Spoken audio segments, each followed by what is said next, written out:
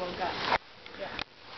And even then he hadn't woken up. I had to go back and bang on the door and help him get time. And his friend was like, What "Oh, do you you know what time it is? It's five o'clock." Alright, here we go. Yeah, just in case. yeah, good good idea, Adam. Standing there, make sure an- an- anything goes wrong. Well, there are sharp corners over here, and he's a little taller than you are, so he ejects himself. I think the uh, gloves are a good idea. Alright, here we go. Smarter move to one. Remember, hips in.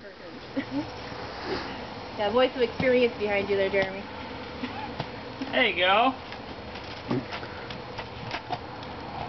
Hips in, hips in. There. There we go. Oh. There we go.